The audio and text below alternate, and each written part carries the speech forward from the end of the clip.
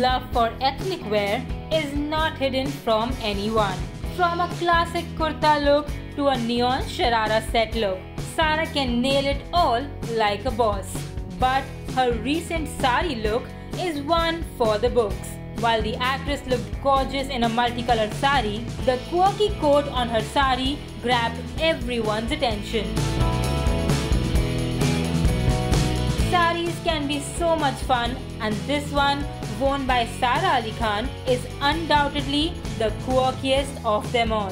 The actor recently shared a series of snaps wearing an eccentric sari in pink with truck motifs embellished on it. The custom made sari that had 54 truck art motifs looked voguish and added the flamboyance to her look. Sara looked equal parts of elegant and vivacious.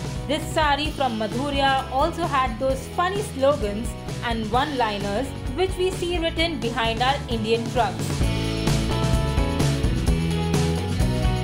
Around her pallu, there was a blue patch that had Mere Paas Maa Hai written on it, which is also an iconic dialogue from Deewar. The sari also had Thand Rakh inscribed on it. She spruced up her look with a pair of jhumkas and made it even more enticing with a blue bindi. Sara kept her tresses open in soft waves.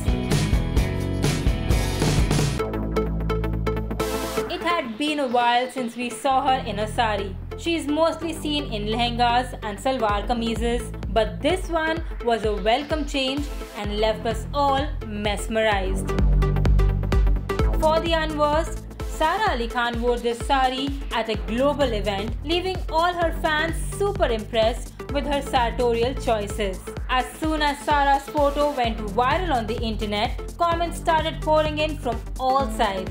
Her fans were all praised for her for choosing to wear an Indian outfit on the global stage.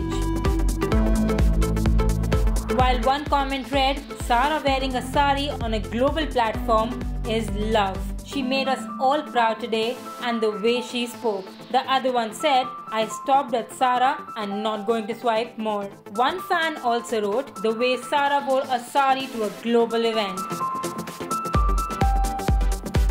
Sara Ali Khan has always received praise for her polite attitude and humble demeanor.